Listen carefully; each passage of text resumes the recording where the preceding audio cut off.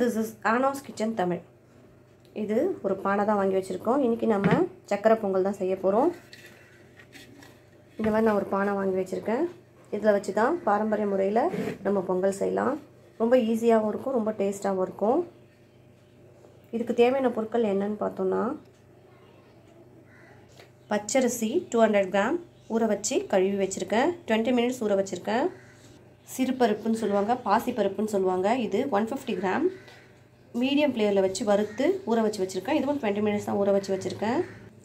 இது நாட்டு சர்க்கரை வெல்லம். ஆக்சுவலாக இது வெல்லம்னு சொல்லலாம் நாட்டு சர்க்கரைன்னு சொல்லலாம். இதை நான் இந்த மாதிரி நறுக்கி வச்சுருக்கேன்.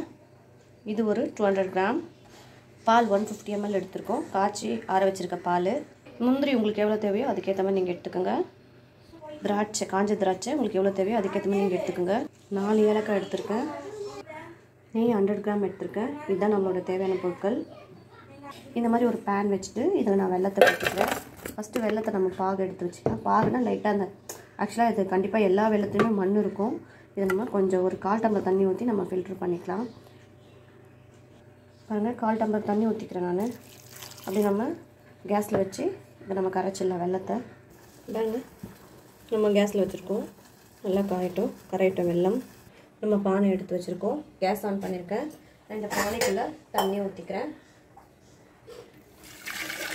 ஒன்று ரெண்டு மூணு நாலு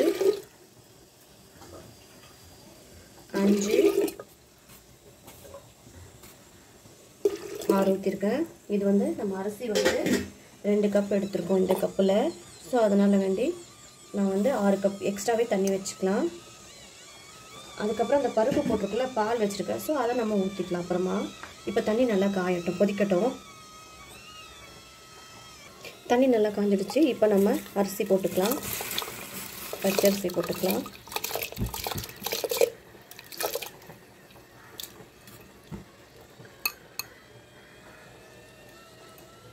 ரொம்ப டேஸ்ட்டாக இருக்கும். இது ரொம்ப ஈஸியாகவும் இருக்கும். இந்த மாதிரி நம்ம பொங்கல் டைமில் நம்ம செஞ்சு கொடுக்கலாம். பொங்கல் செய்ய தெரியாதவங்க கண்டிப் கண்டிப்பாக ட்ரை பண்ணி பாருங்கள் இந்த மாதிரி ட்ரை பண்ணி பாருங்கள் ரொம்ப டேஸ்ட்டாக இருக்கும். இந்த அரிசியில் கீ ஊற்றிக்கலாம் ஒரு டேபிள் ஸ்பூன் ஊற்றிக்கலாம் ரைட்டும் நல்லா பொங்கு வரட்டும். இது நல்லா கொதிக்கட்டும். அதுக்குள்ளே நான் இந்த ஏலக்காய் பவுடர் பண்ணி வச்சிட்டேன். இதோடு சேர்த்து இந்த சிறுபருப்பையும் சேர்த்துக்கலாம். அதாவது பாசிப்பருப்பு நல்லா வறுத்து ஊற வச்சு வச்சுருக்கேன். டுவெண்ட்டி மினிட்ஸு இதோடு சேர்த்து நல்லா வேக விட்டுடலாம் நம்ம. எல்லாத்தையுமே நான் போட்டுட்டேன்.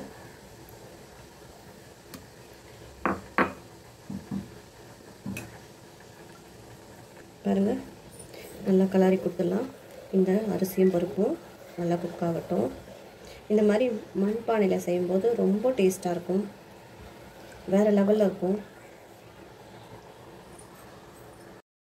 நம்மளோட பொங்கல் நல்லா பொங்குது. ஸோ நல்லா குக்காகட்டும் நம்ம ஊற வச்சதுனால அது சீக்கிரமாகவே ரெடி ஆகிடும் இப்போ நான் பால் எடுத்து ஊற்றிக்கிறேன் காய்ச்சின பால்.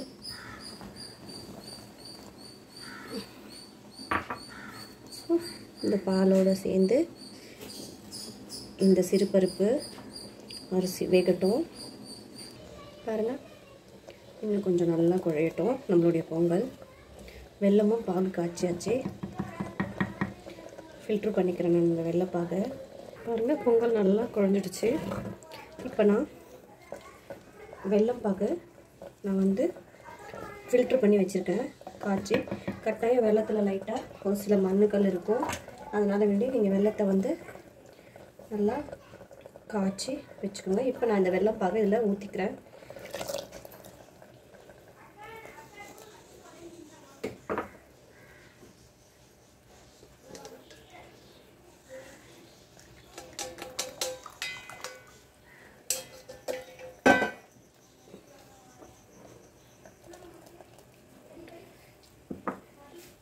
இப்போ நம்ம நல்லா கலரி கொடுத்துடலாம். ரொம்ப குயிக்காக முடிஞ்சிடும். ஸ்வீட் உங்களுக்கு எவ்வளோ தேவையோ அதுக்கேற்ற மாதிரி போட்டுக்கோங்க.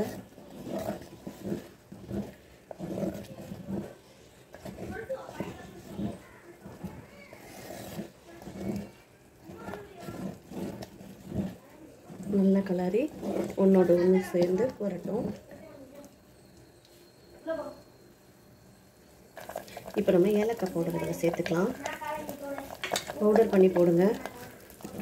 அப்போ தான் எடுத்து போட மாட்டாங்க. இதோட சேர்த்து ரொம்ப டேஸ்ட்டாக இருக்கும்.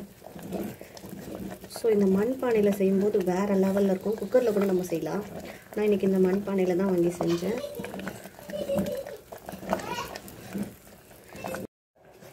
பாருங்கள் கேஸ் ஆன் பண்ணி இந்த மாதிரி ஒரு பாத்திரம் வச்சுருக்கேன். இதில் நான் கீ போட்டுக்கிறேன். எடுத்து வச்சுருக்க கீ போட்டாச்சு. கீ நல்லா உருகட்டும்.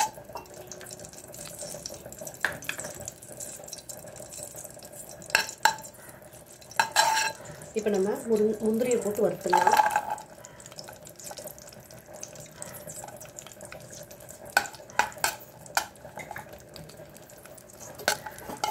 நல்லா கோல்டன் கலரில் ஃப்ரை பண்ணிக்கோங்க.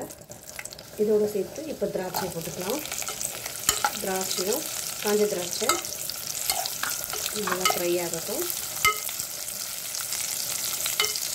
நம்மளுடைய பொங்கலும் ஒரு சைட் ரெடி ஆகிடுச்சு சக்கரை பொங்கல். ரொம்ப ஈஸி இது குக் பண்ணுறது கஷ்டமே இல்லை. இந்த மாதிரி ட்ரை பண்ணி பாருங்கள் வேறு லெவலில் இருக்கும்.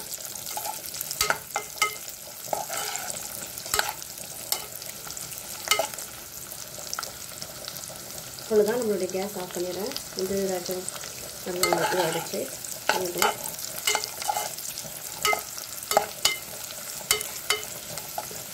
திராட்சைலாம் இந்த மாதிரி பால்ஸ் மாதிரி எழுந்துடுச்சு.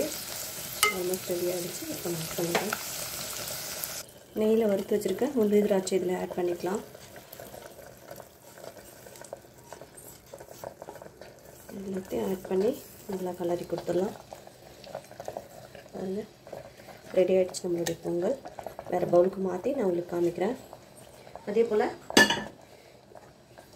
இருக்கிற பேலன்ஸ் நெய்யை இதில் நான் ஊற்றிக்கிறேன் இப்படி லாஸ்ட்டாக ஊற்றும்போது பயங்கர மனமாக இருக்கும். அவ்வளோதான்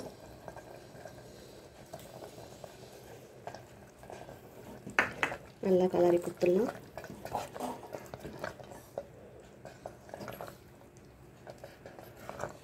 எல்லாம் மிக் மிக்ஸ் ஆகிடுச்சு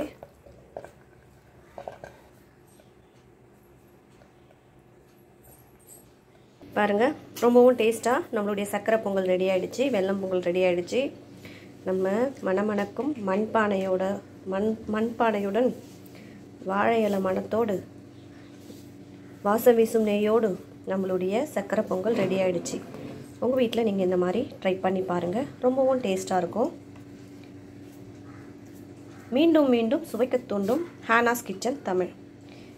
அனைவருக்கும் இனிய பொங்கல் திருநாள் வாழ்த்துக்கள். ஹாப்பி பொங்கல். தேங்க்யூ ஃபார் வாட்சிங்